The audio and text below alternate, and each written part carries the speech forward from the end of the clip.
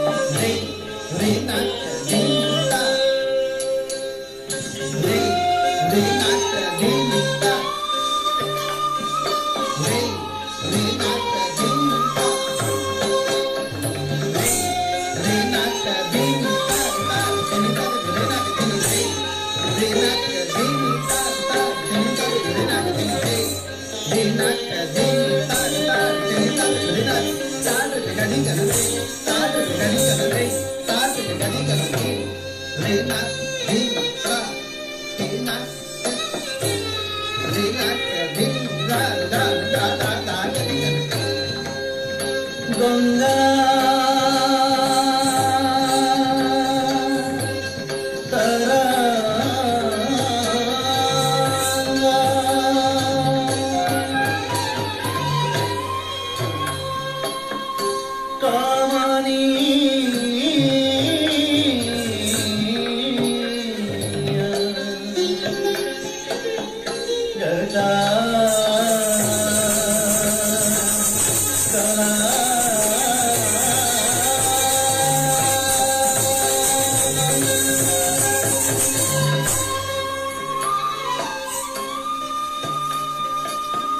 널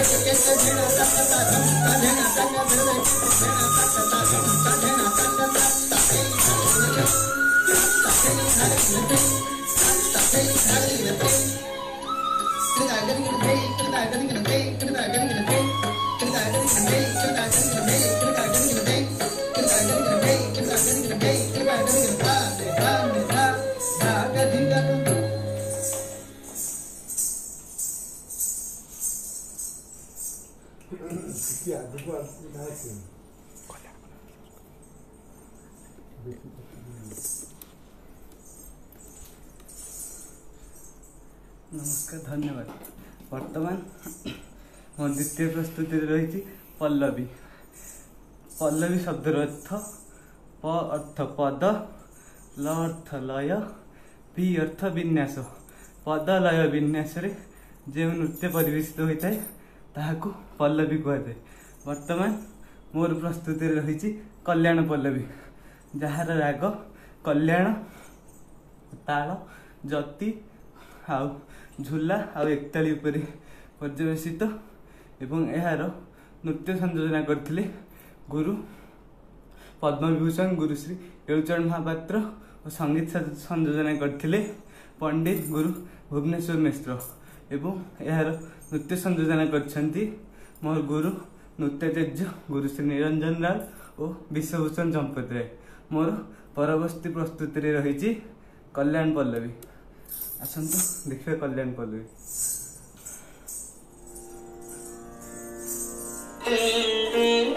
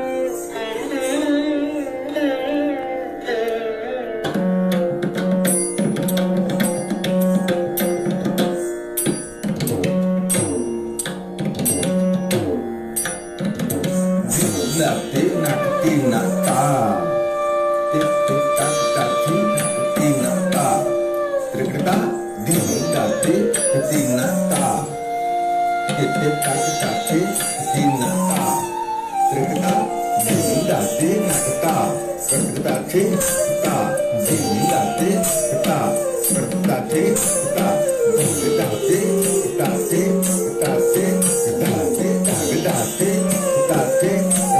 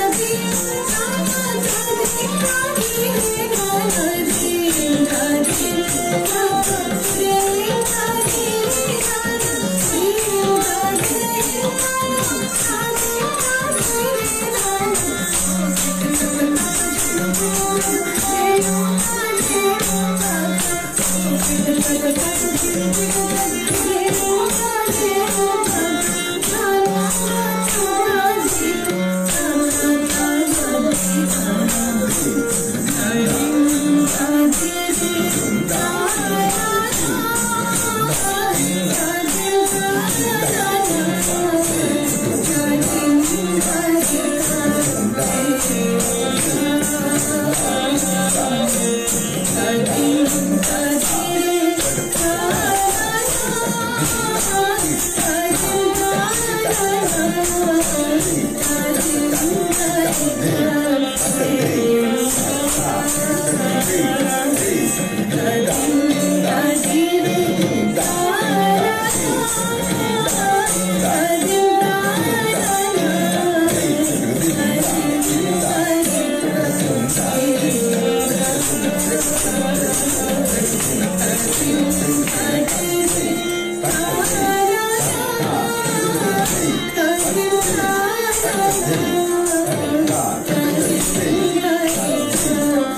Hey.